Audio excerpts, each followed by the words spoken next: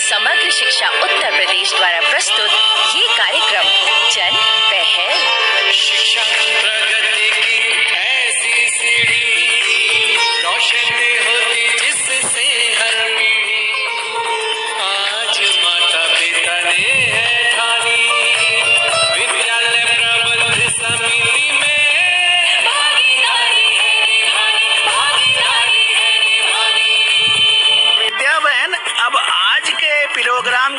बात शुरू करें तो शिक्षा के अधिकार अधिनियम के लिए जो बातें पूरी की जानी चाहिए उनमें से एक बहुत ही ज़रूरी बात है। स्कूल में विद्यालय प्रबंध समिति यानी कि एसएमसी का गठन और उसके सदस्यों द्वारा अपने सभी कार्यों और जिम्मेदारियों को पूरा किया जाना। ठीक कहा तुमने। तो चलिए इस सिलसिले को आगे बढ़ाते हैं और आज बात करते हैं एसएमसी के सदस्यों की भूमिका और जिम्मेदारियों के बारे में। मतलब कि उन्हें जो कामकाज पूरे करने हैं उनके बारे में? हाँ काकी तो इस बारे में मैंने जब अपने इलाके के एक स्कूल के अध्यापक से बात की तो उन्होंने जो बताया, वो मैं आपको भी सुनवाती हूँ। हाँ भाइयों बहनों, समझ लीजिए, यही है हमारा आज का प्रेरक संदेश।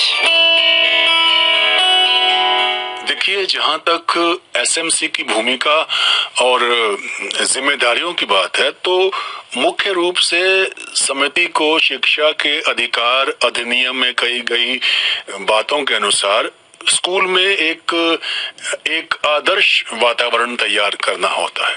इस अधिनियम में जिन बाल अधिकारों की बात की गई है तो उन्हें पूरा करने के लिए काम करना होता है। बच्चों के समुचित विकास और अध्यापकों द्वारा अपने कर्तव्यों को पूरा किए जाने पर भी ये समिति ध्यान देती।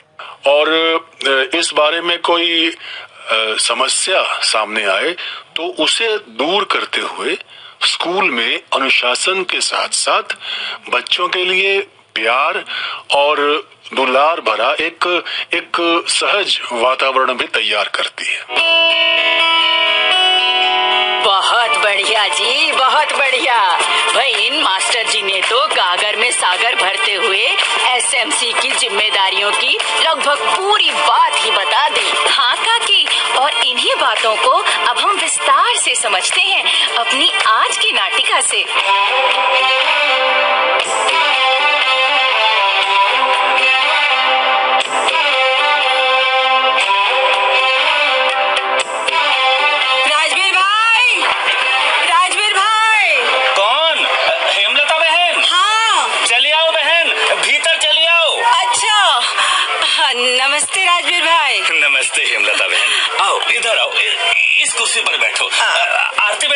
ये कुर्सी तो जरा इधर खिसका दो। जी हाँ मामा जी।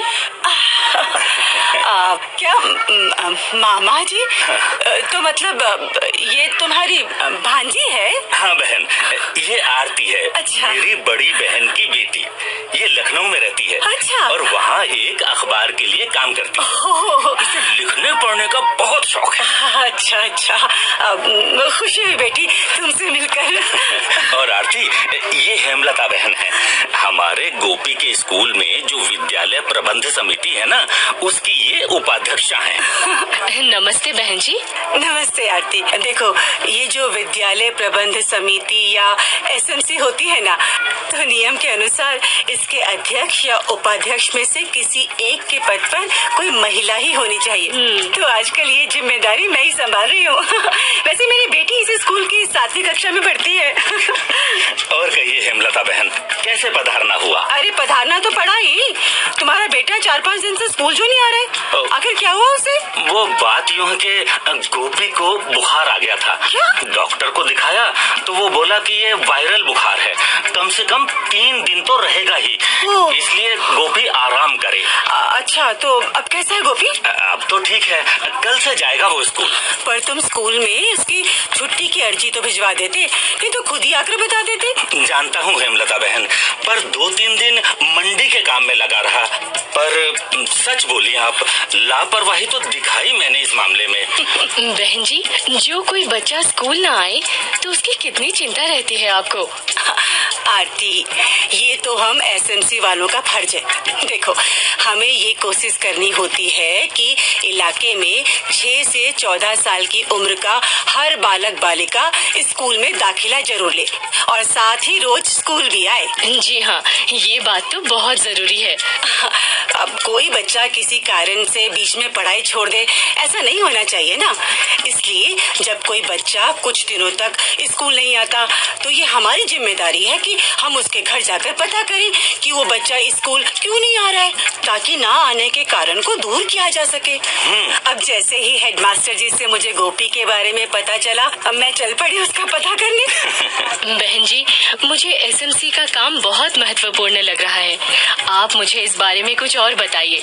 मैं चाहती हूँ कि मैं शहर जाकर अपने अखबार में इस बारे में लिखूं ताकि इस जन पहल के बारे में लोगों को पता चले। हाँ आरती ये तो बहुत ही अच्छी बात होगी। हाँ तो आरती, हम एसएमसी के सदस्यों को इस बात का भी ध्यान रखना चाहिए कि स्कूल में निर्माण के लिए जो रकम मुहैया कराई गई है, उस रकम से स्कूल में ज़रूरत के मुताबिक भवन, अतिरिक्त कमरे, शौचालय, चार दीवारी या पानी की टंकी आदि बनवाए जाए। मतलब कि बच्चों के हित में उस रकम का उपयोग हो। हाँ उचित उपयोग हो, समय पर हो और पूरी पारदर्शिता के साथ हो। खर्च का हिसाब समिति को भी पता होना चाहिए। बिल्कुल।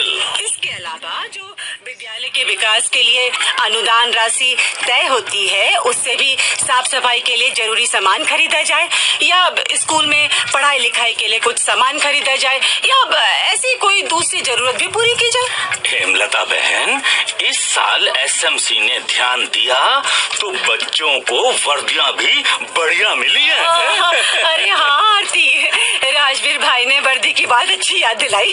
देखो शिक्षा के अधिकार अधिनियम के तहत बच्चों को मुफ़्त वर्दी की बात कही गई है तो एसएमसी को ये देखना चाहिए कि बच्चों को ये वर्दी समय पर मिले मौसम के हिसाब से मिले उसका कपड़ा अच्छी क्वालिटी का हो।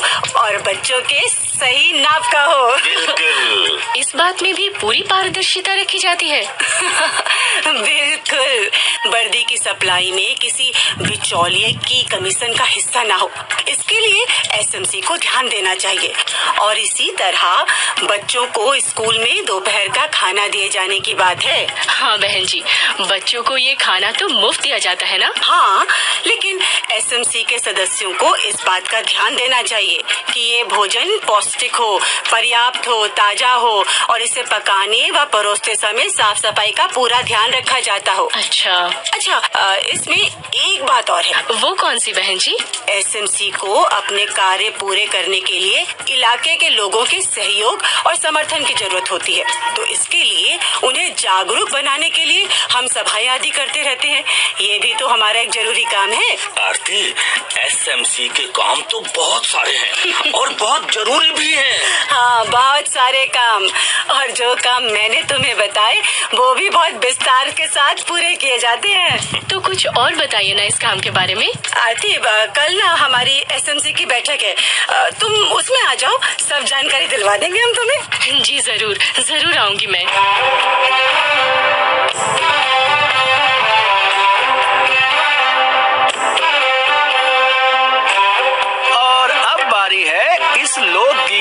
सुनने की। और दोस्तों, इस लोकगीत में लहलहाती, झूमती फ़सलों के बारे में क्या सुंदर कहा गया है?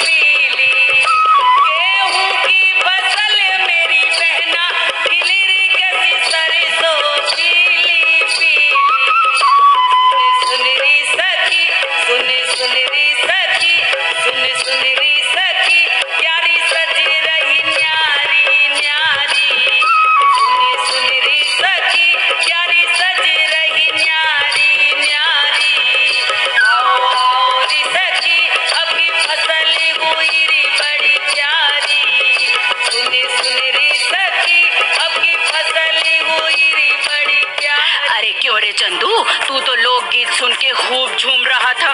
भूल गया था कि प्रोग्राम में बैठा है। अरे नहीं काकी मुझे प्रोग्राम की हर बात याद है। मुझे पता है कि अब तुम एक मज़ेदार रोचक बात बताने वाली हो। अच्छा भाई हम बात कहते हैं ना कि बच्चा जब स्कूल जाए तो पूरे घर को पढ़ा लिखा बनाए। तो भाई आज मुझे अपने मोहल्ले की लक्ष्मी याद आ गई। वो क्यों काकी?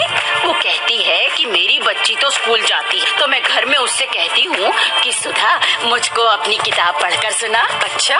हाँ लक्ष्मी कहती है कि इस तरह उसे किताब में लिखी साफ़ सफ़ाई खान पान और अंधविश्वास को मिटाने वाली कई बातें सीखने को मिलती हैं। तो भाई, बच्चों को पढ़ाओ और खुद भी सयाने बन जाओ, क्योंकि ज्ञान से हमारा नाता जीवन में नई खुशियाँ है लाता और भाइयों बहनों अगर आपने अपने स्कूल जाने वाले बच्चे से कोई काम की बात सीखी हो तो उसे हमें लिखकर भेजिए। हम उसे अपने प्रोग्राम में शामिल करेंगे। भाइयों बहनों अगर आप अपनी बात हम तक पहुंचाना चाहते हैं, या विद्यालय प्रबंध समिति के बारे में कोई जानकारी चाहते हैं, या कार्यक्रम के बारे में कोई सुझाव देना चाहते हैं तो इस पते पर लिखें। हमारा पता है, समग्र शिक्षा उत्तर प्रदेश, सर्व शिक्षा अभियान ऑफ़िस, विद्या भवन, प्रथम तल, फ़र्स्ट फ्लोर, निशांतगंज, लखनऊ, दो दो छः शून्य शून्य सात। तो अब जन पहल के अगले कार्यक्रम तक विद्या और अपनी काकी और अपने चंदू को आज्ञा दीजिए। जय